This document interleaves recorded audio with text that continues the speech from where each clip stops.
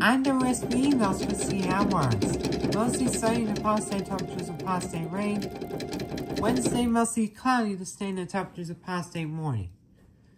But right now, 42 degrees right now in McDonough and Jefferson and 42 degrees right now. More is at 11.30. Breaking news on it happens on 70 Cuba, 955 WSB.